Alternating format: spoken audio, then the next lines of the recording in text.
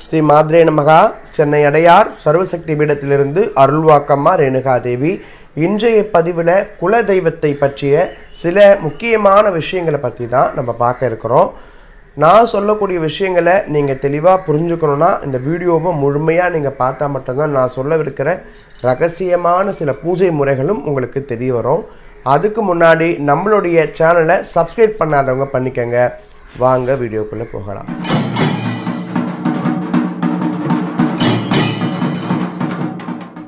இன்னைக்கு இருக்கிற சூழ்நிலையில் குலதெய்வம் அப்படின்னு ஒரு தெய்வத்தையே வந்து மறந்து பலவிதமான வழிபாடுகளில் பல பேர் ஈடுபட்டுக்கிட்டே இருக்கிறாங்க. அதில் உங்களுக்கு பிடித்தமான தெய்வங்களை வச்சு கோவில் வரைக்கும் கட்டி வழிபாடுகள் எல்லாம் செய்கிற சில அன்பர்களும் இருக்கிறாங்க. ஆனால் குலதெய்வம் அப்படின்னு ஒரு விஷயத்தை மறந்தோமானால் அந்த தோஷமே குலதெய்வ தோஷம் அப்படின்னு நம்ம குடும்பத்துக்கு ஏற்பட்ட தாய் பொண்ணுங்க என்ன பூஜை செய்தாலும் எந்த மாதிரியான ஹோமங்கள் செய்தாலும் எவ்வளவு தான தர்மங்கள் செய்தாலும் குலதெய்வ தோஷம் இருப்பின் எந்த தெய்வமோ நிச்சயமாக நம்மளுக்கு அனுகிரகம் செய்யாது.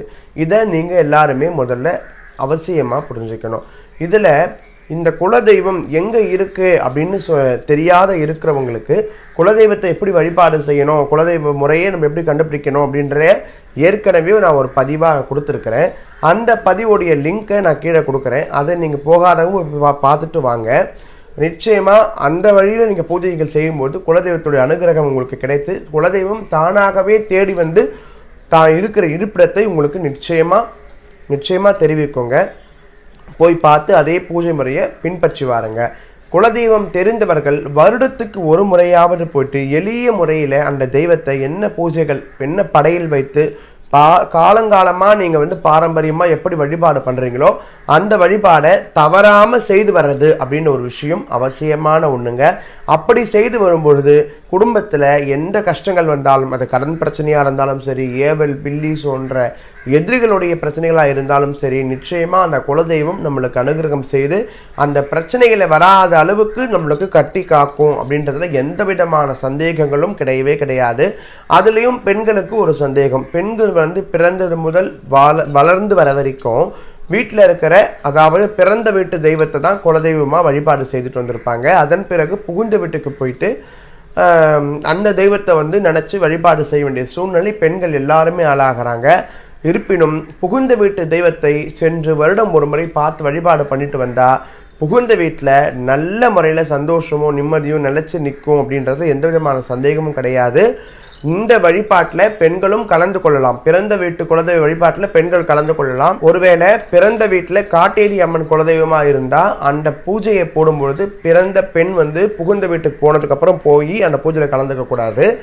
அப்படியே வந்து புகுந்த வீட்டில் காட்டேரி அம்மன் குலதெய்வமாக இருந்தாலும் பிறந்த வீட்டில இருந்து பெண்களுடைய வீட்டு பக்கம் இருந்து யாரும் அந்த பூஜையில் கலந்துக்க கூடாது. இது ஒன்று இந்த ஒரு குலதெய்வத்துக்கு மட்டும்தான் அது விதிவிலக்கு. மற்ற தெய்வங்கள் எல்லாத்துக்குமே ரெண்டு வீட்டாருமே சேர்ந்து பூஜைகள் செய்கிறதுல எந்த விதமான தவறுமே கிடையாதுங்க.